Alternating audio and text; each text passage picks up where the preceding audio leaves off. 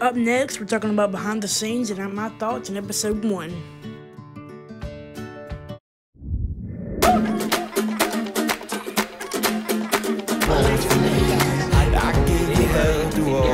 When the surrounding South Carolina area would be able to live with the fact that this place. So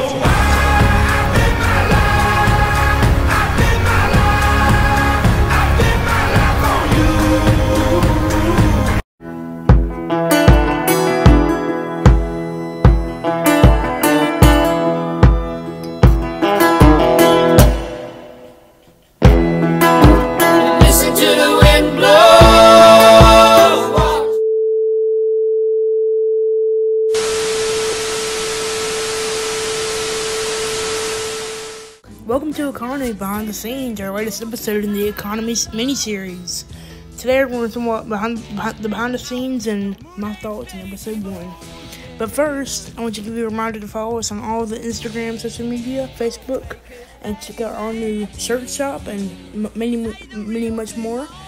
And uh, that will all be in the Instagram bio when you see this, when this comes out. And um, so today we're going to talk about behind the scenes of, of economy, really. So um, economy is a mixed, very mixed work show. So I use like a few different websites and apps to get this to happen. Uh, a few of those apps are PicPlayPost, iMovie, Magisto. Many of the different apps like that is what we use to make the economy. And of course, um, iMovies we collab it all together and make this wonderful video you're watching right now. Not really. Um, so yeah, it's really really it about the behind the scenes. And um so but what the behind the scenes is really gonna mean tonight, is it's gonna be my views and my ideas about the show. What I think. What, what like what my opinion is. And um so basically what my general idea of what economy is is a show about things, places, companies that make our lives special or mean something to us. So, for example, the first episode was about downtown Gaffney. So downtown Gaffney is, of course, the centerpiece of our downtown of, of, of Gaffney. So it's something that is special to the city of Gaffney. Which is why I did downtown Gaffney first. I thought we can get some great footage with that too. And it's the same with the uh, next episode, which is Harold's Restaurant in downtown. It's just a place that everyone really knows, and everyone has always passed by it before. Who lives in Gaffney? And everyone uh, knows about that. And um, it just has a rich history to it. I always places will have a rich history to it. So um, I mean, it's just it's just a, play, a thing where it's special. And I mean, the, the idea for the show is just like I have a very high interest in like companies and places and how things work and stuff like that. So that's basically what this show is about. And so I want to say right now you're watching drone footage of Gaffney, South Carolina, and uh, the Gaffney Dam and Limestone College in the city. But um, back to where I was. It's just like uh, important things, and I like those kind of different things. So that's what we talk about here. That's kind of where the idea of the show came from. It came from that idea.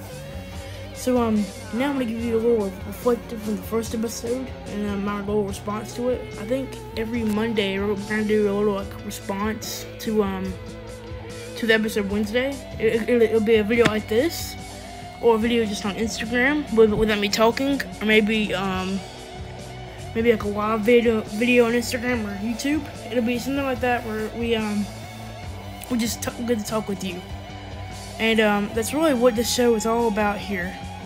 It's all about the downtown. The downtown is just a rich, rich culture that you can't really deny the culture it has and it makes an impact on us. So now we're gonna watch a video by Seven News about downtown and all of its different offerings.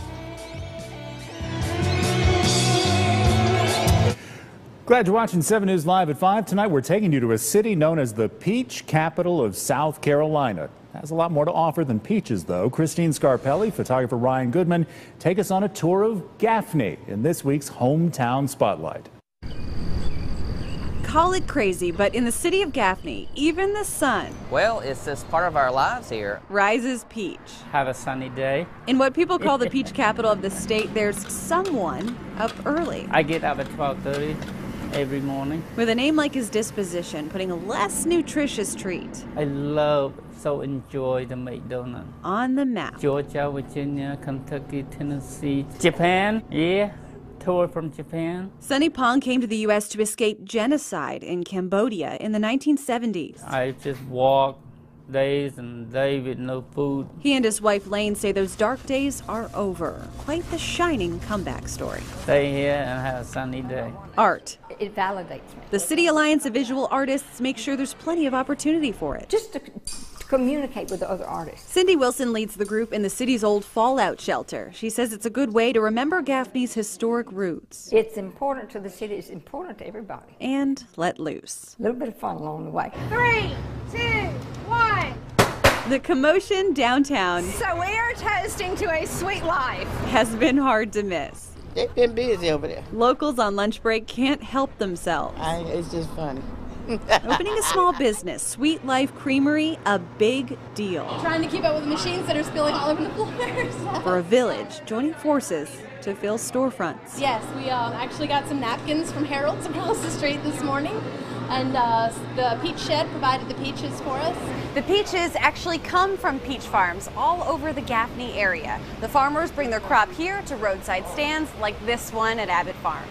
I'm third generation farmer. Abbott Farms is one of many with 100 plus acres of produce, putting food on the table for families and serving up nostalgia. And we have so many people that come into the store and say, hey, you know, I used to pick peaches when I was young. Something you just can't find in a store. But they've heard so much about it that they come out and they try it and they're sold. In Gaffney, Life's a peach. Christine Scarpelli, 7 News. So yeah, as that video said, downtown Gaffney has a lot to offer, even though we can't always see it. And as I said in the first video, I didn't say that. I, I said there's either feature, a feature or no feature of downtown, and it's up to the people to figure that out. But it's also the people Gaffney to discover these new small places to allow the downtown to succeed. That is what we really need. That's what we're gonna have to do in order to make Gaffney successful. Um, like you, you see the industries, new things like Abbott Farms. Uh, it's been there for a while. Sweet Life Creamery, it's new, and um, Sony's Donuts has been there for a while too. All these different companies in Gaffney that are actually doing pretty well for themselves, but just need to be discovered a little bit more. Um, those small companies is what it's going to be the spark for new companies to come to Gaffney. That's what it's, that's what it's, that's what's going to have to be. All these different small countries, small companies, even the big companies, all of them are going to work together to make our downtown better. And if we don't do that, like I said in the first episode, then um, I'm not sure if there's anything that we can do. But as I said, also in the first episode, that um, it's again, it's up to the people. You see industries, all these different buildings, all these different empty buildings of Gaffney. There's a simple fix to that. If someone goes and opens, opens a restaurant in one building, it can change the whole atmosphere of Gaffney. Everyone can, you'll see buildings start to sprout up. It's sort of what's happening right now, but uh, it's up to the businesses to maintain healthy hours and maintain what the city of Gaffney needs, and not just close at five o'clock, open at nine, open at two, close at five. We need also need our downtown to be more successful during the nighttime.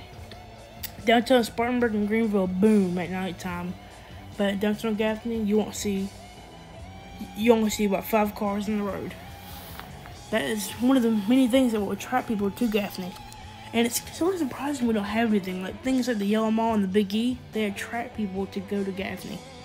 But yet we still don't have a right downtown. So I'm not sure what's gonna work for Gaffney, but they need to figure it out. And um, it's up to you, people who are watching this, to make something happen. Because it's our future that can determine something new for the city of Gaffney. Anyway, thanks for watching. I'm gonna remind you there'll be an all new episode this Wednesday at 8:30 p.m. covering Harold's Restaurant, which is also downtown, which also gave much popularity to the downtown. So that's Wednesday. I'll be here. Have a great day.